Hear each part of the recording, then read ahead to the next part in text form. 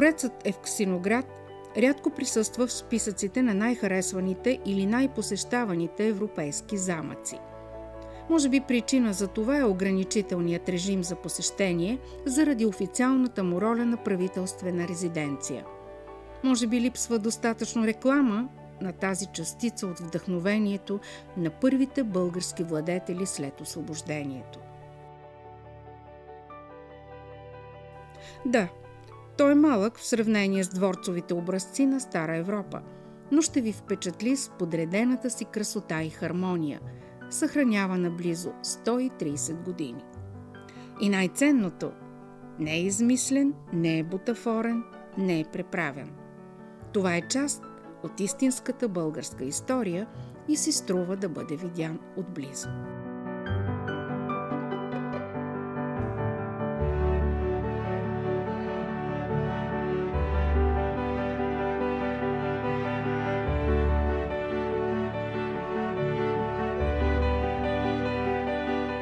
Дворцовият ансамбъл Евсиноград е само на 8 км северно от Варна. Всичко започва, когато през 1880 г. княз Александър Батенберг идва във Варна и посещава манастира Свети Димитър.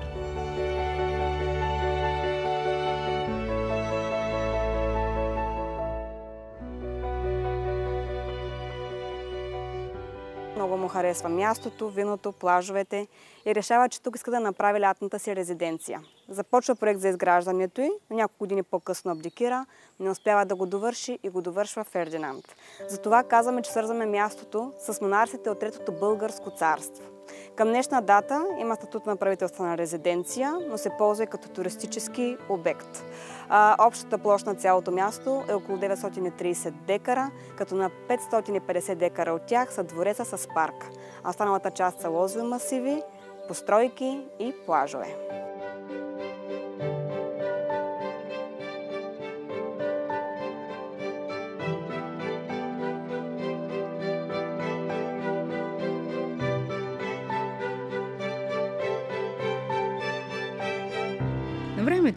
Летният дворец Сандрово карал варненци да се чувстват горди от факта, че ще бъдат по-близо до княжеското величие и ще посрещат българския владетел по-често от другите му поданици извън столицата.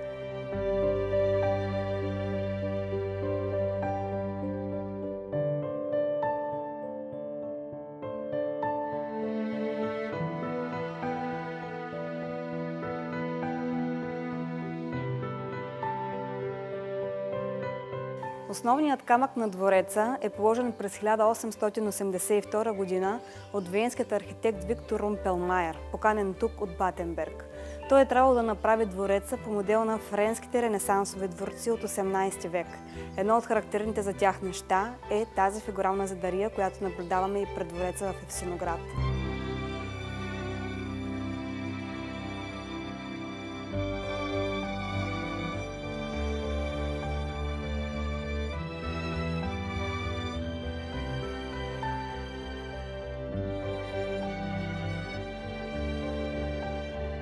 След абдикацията на Батенберг на българския престол се възкачва княз Фердинанд Сакско-Бурготски.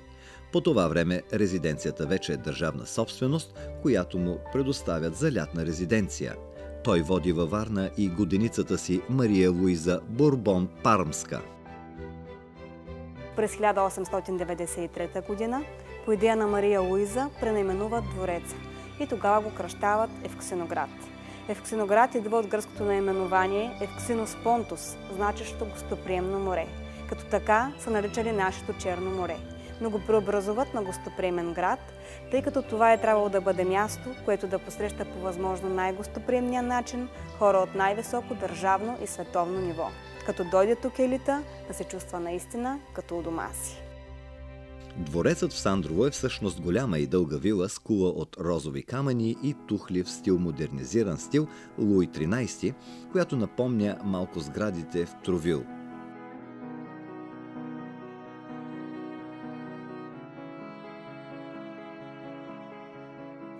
Разположен е на огромна тераса, високо над морето. Пише в своите български дневници френският благородник Робер де Бурбулон, личен секретар на Фердинанд Сакско-Бургоцки.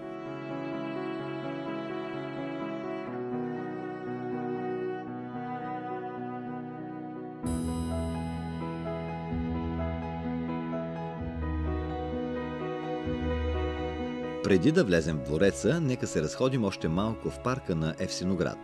Тук и днес част от пейзажа са осветителните стълбове, на времето захранвани от парна електрическа централа, която давала ток и на самия дворец. Построена е през 1893 година от австрийската фирма Siemens Schuckert и една от първите в страната с мощност 50 кВт. Просъществувала е до 1930 година.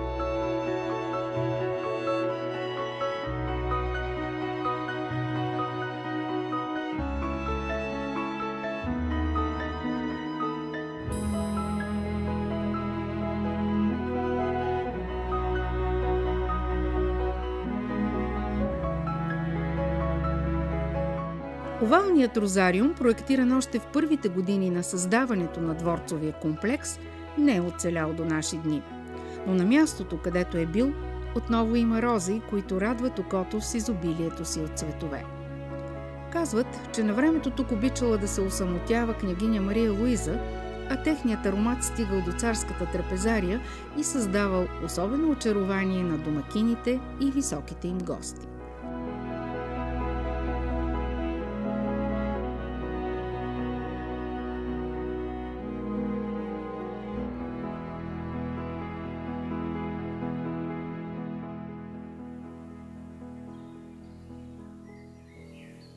Бившата царска конюшна наричаме още щала, което произхожда от немски и също означава конюшна.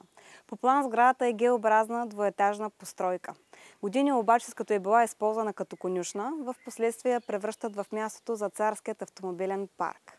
Любопитен факт тук е, че Фердинанд през 1905 година посещава едно рали Мюнхен-Берлин и там вижда Мерцедес, който печели второ място от тази същата година. Когато княза го забелязва, влюбва се в него и решава, че с него ще постави началото на автомобилната си колекция. Така и става и година по-късно тук има паркирани вече няколко различни автомобила. Сега обаче сградата не се използва като автомобилен парк, но ще отбележим някои неща за нейната архитектура, която също е съществена. От една страна имаме фигурална зидария от тухли и камъни, която е синхронно направена по френския модел – по който е направен и двореца. А друг съществен елемент са плочите, от които е направен покрива. Това са плочи типа Андруаз, внесени от Австро-Унгария през 19 век и тънки само около 4 мм. Независимо от тънкостта си обаче, за годините, в които са били в експлоатация, са се оказали наистина много здрави и едно много добро австрийско производство. Сега щалът е реконструиран и надежно укрепен. Очаква се той да бъде музейна сграда, в която да се представят археологически находки от района и музейна експозиция на парковото изкуство и историята на неговото изграждане.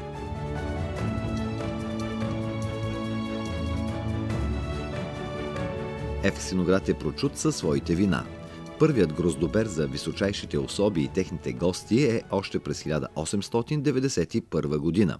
Продължава и традицията виното да се прави в съществуващата тогава монашеска изба.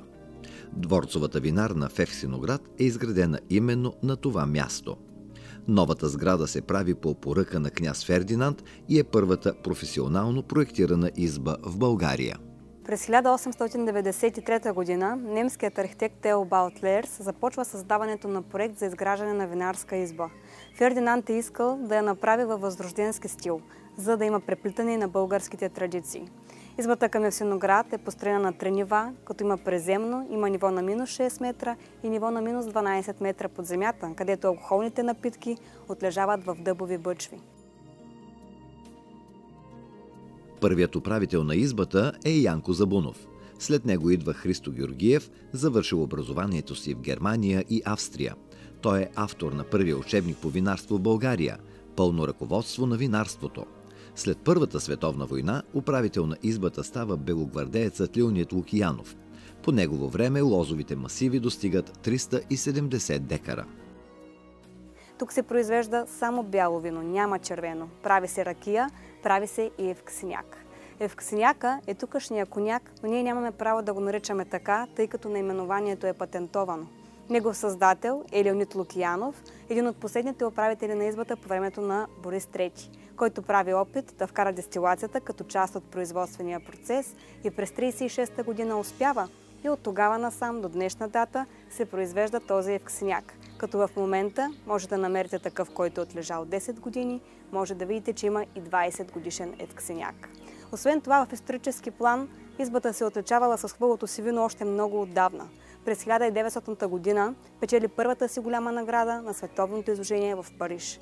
Печели златен медал. И до днес има събрани над 50 златни медала и над 30 сребърни.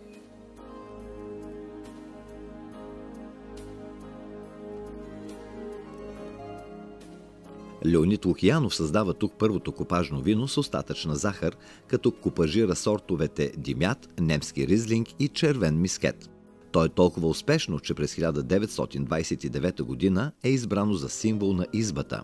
През 1935 г. е отличено с първа награда на изложението в Париж, а през 1937 г. в Брюксел и Лайпциг.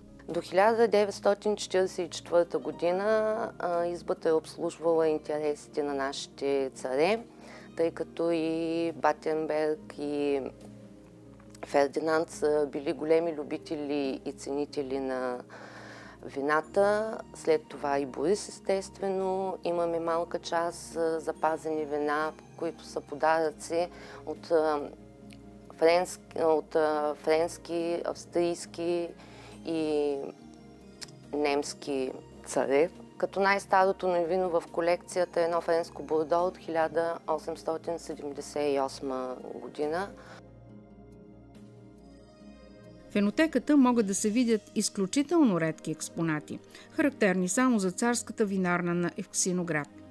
Те не са за консумация, тъй като не са оцелели в трудните преходни периоди. Затова пък колко емоция и усещане за история има в тях. Туристите могат да видят и вина, произвеждани през годините в тази изба. Посетителите на Евсеноград често задават въпроси, някои от тях и по-пикантни такива, а други се интересуват от историческите особености на мястото. Когато направим една пълна обиколка и видят градините, видят двореца, чуят за неговата история, за хората, които са посетили мястото, те наистина се впечатляват и остават доволни. През 1946 г. царският замък е национализиран и тук до 1989 г. може ли да влизат и да почиват само представители на елита на БКП. Тук по традиция водили всички чуждестранни делегации, които идвали на посещение в България. Резиденцията оставала недостъпна за обикновените граждани и поради това обвита в тайнственост. За първи път е обявен Ден на отворените врати през 2000 година. Днес посетителите имат възможност да разгледат първия етаж на двореца.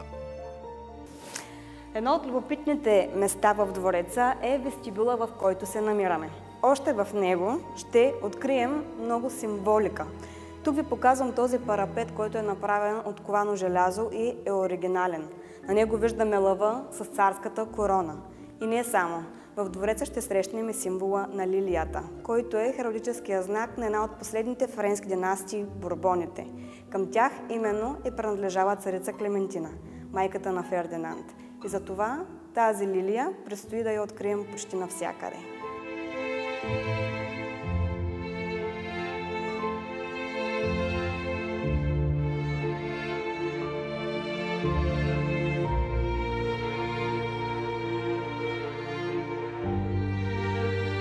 Същата символика се вижда във всеки детайл, дори в прекрасния полюлей в вестибюла. Дори и дръжките на вратите са специално изработени и украсени с буквата Ф на името на княза, увенчана с корона. Царската фамилия прекарвала във Варнинския дворец цялото лято. Тук били приемани гости и държавни глави. Традицията продължава и при цар Борис III и съпругата му Йоанна Савойска и през годините на соца. Когато веднъж журналисти питат съпругата на цар Борис III какви спомени пази от България, тя казва Рилският манастир и Евсиноград край Варна. Аз обичам планината, но Евсиноград бе моята мечта.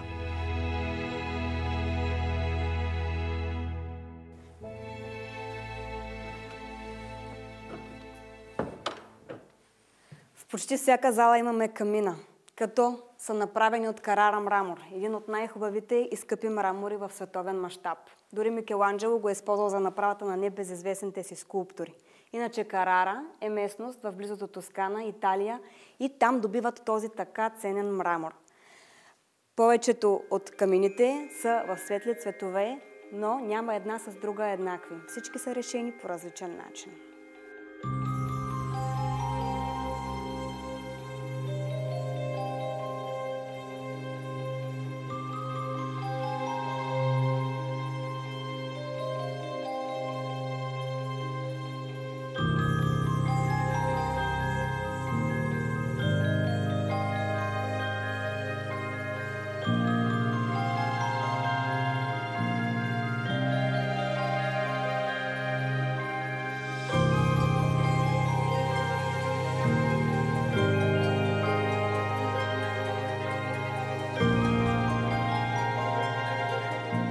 Не по-малко впечатляващи са изящните порцеланови свещници над камината.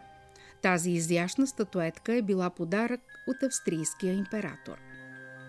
Намираме се до една от най-високо оценените картини в двореца. Това е оригинал на българския художник Злати Бояджиев. Интересен факт тук е, че тази картина е направена с лявата му ръка. През 1951 година Злати Бояджиев претърпява инсулт и се парализира дясната част на тялото му. Впоследствие той започва да рисува с лявата си ръка, като тази картина е нарисувал именно по този начин. Представете си за колко години като време, като труд, като усилия са били необходими, за да може в един момент от дясната си ръка да рисуваш с лявата си именно по този начин. Пред вас е картината Почивка.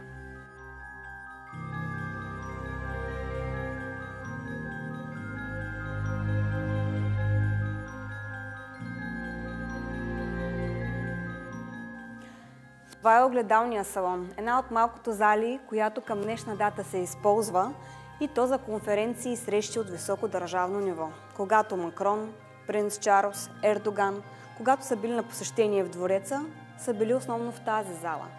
Принц Чарлз тук е искал да изпие следобедния си английски чай по традиция.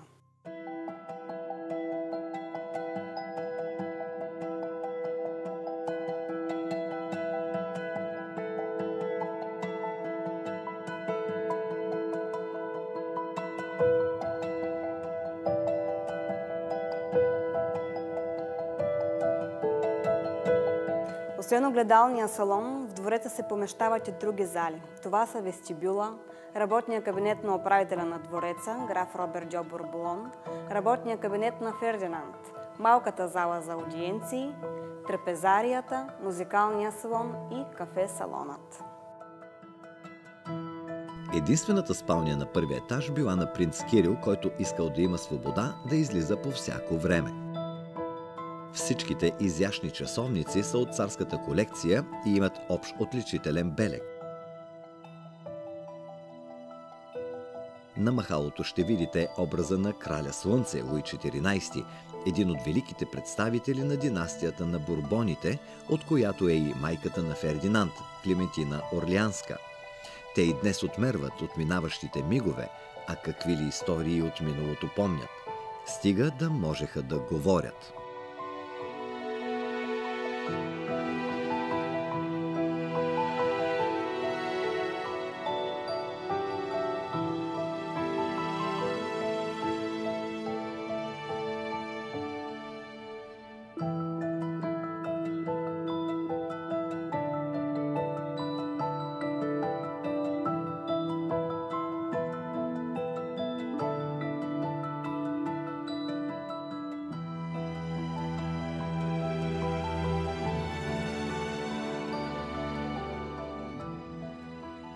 Обзавеждането в двореца е направено в няколко основни стила. Един от които е бил и по Фердинандово време, е стила Чипандейл. Той е характерен със своите тъмни дървесни цветове, основно орех и махагон. Години по-късно, нещо за което се вярва, че е по идея на Людмила Живкова, е било пребоядисването на мебелите в бяло. И тогава навлиза стила рококо, за който са характерни тези бели, меки, светли пастелни цветове.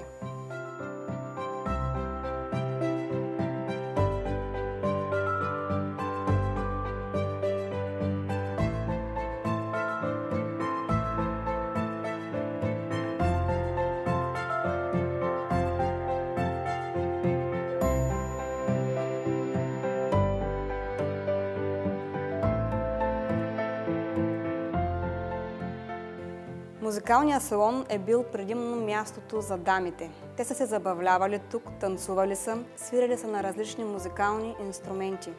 Рояла пред мен е оригинален, Рутибахсон, немски и е бил подарък от Фердинанд към втората му съпруга Елеонора фон Ройс.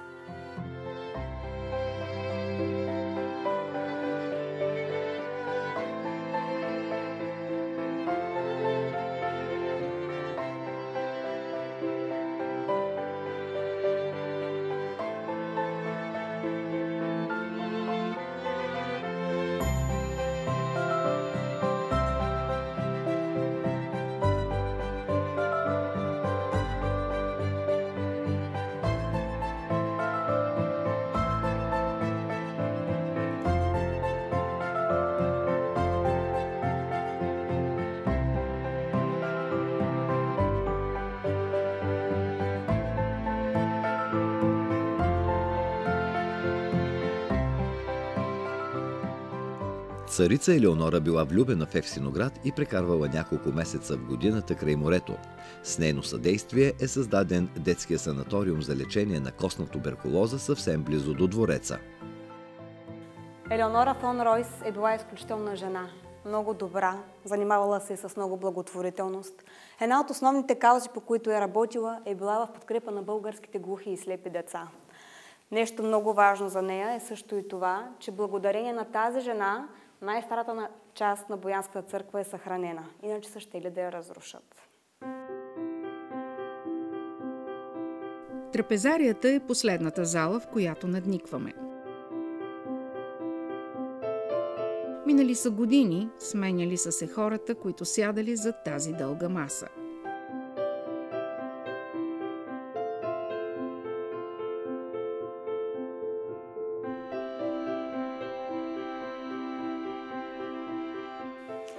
във витрината е запазен оригинален холандски сервис, подарък към Джована де Савойска. Затова можем да видим и нейните инициали G и S отдолу под короната.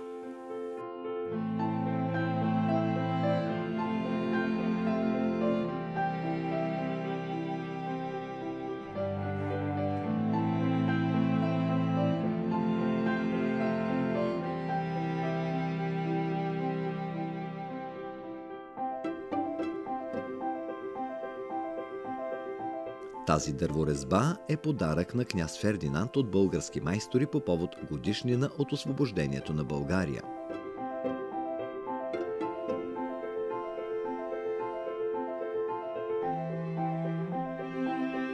Докато ние осмисляме видяното и чутото, окото на камерата поглежда от високо към най-характерната картина за това приказно място –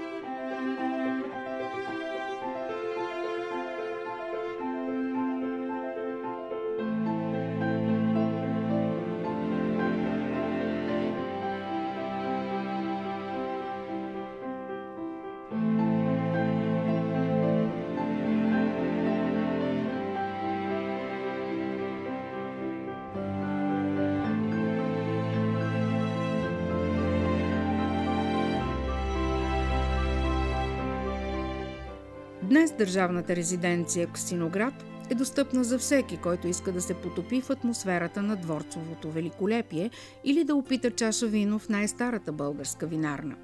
В определени месеци от годината се организират групови туристически обиколки, по време на които опитен екскурзовод ще ви разкаже историята на двореца и неговия прекрасен парк.